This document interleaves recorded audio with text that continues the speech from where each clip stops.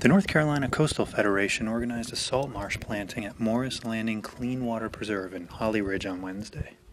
More than 60 volunteers installed more than 4,000 smooth cordgrass plants along 3,000 feet of shoreline along Stump Sound.